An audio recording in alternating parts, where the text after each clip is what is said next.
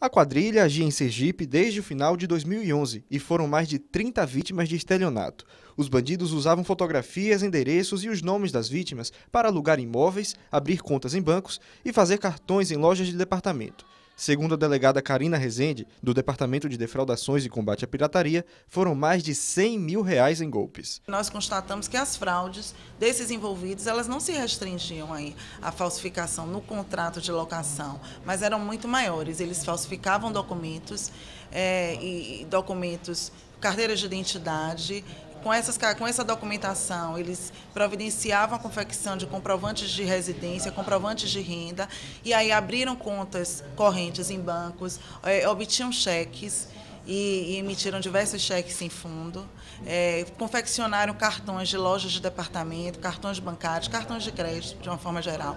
Contratavam serviços de telefonia, de opera, em operadoras de telefone, sempre pós-pago, né, tudo no nome de terceiros de boa fé.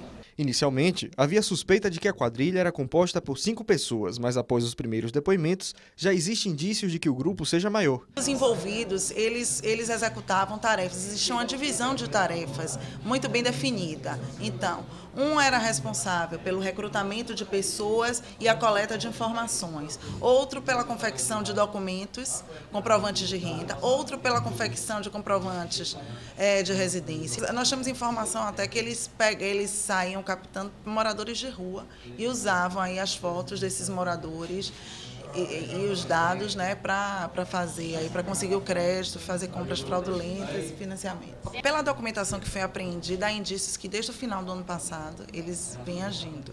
Mas assim, o volume de golpe nos últimos quatro meses ele foi assim estúpido. Nós temos informação que um deles, o que está preso, ele chegou a usar os dados de uma pessoa que faleceu em 2009 e que apresenta assim diversos registros de inadimplência datados de 2011, 2012 quando ele já era morto.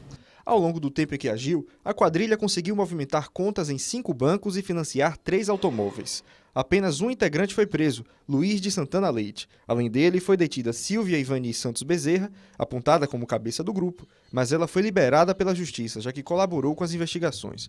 Um terceiro componente, o uruguaio Ramires Ismael da Rosa Cicerale, permanece foragido.